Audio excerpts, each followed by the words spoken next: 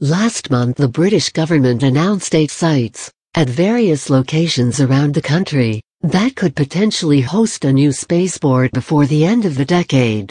The spaceport would have two main purposes, to launch commercial satellites into orbit, and to lob tourists into space on brief suborbital hops.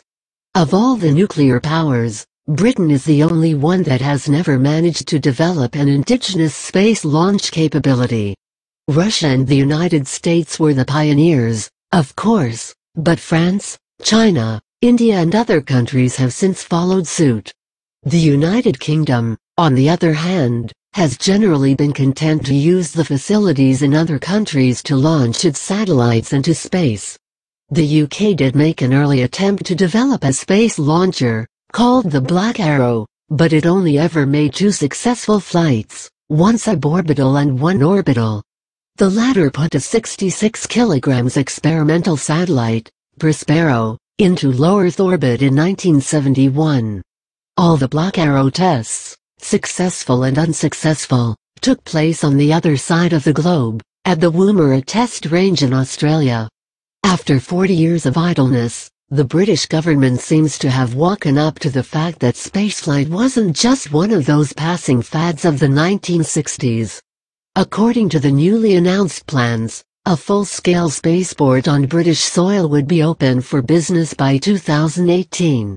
Eight sites have been proposed, Newquay in England, Llanbedr in Wales and no fewer than six locations in Scotland, Campbeltown, Kinloss, Leuchars, Lossiemouth, Prestwick and Stornoway.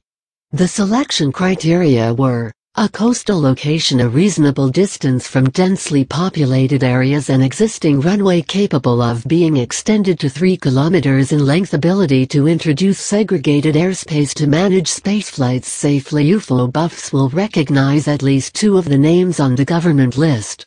RAF Lossiemouth has been the site of several UFO sightings, most notoriously the alleged close encounter that Cedric Allingham had with a flying saucer in 1954.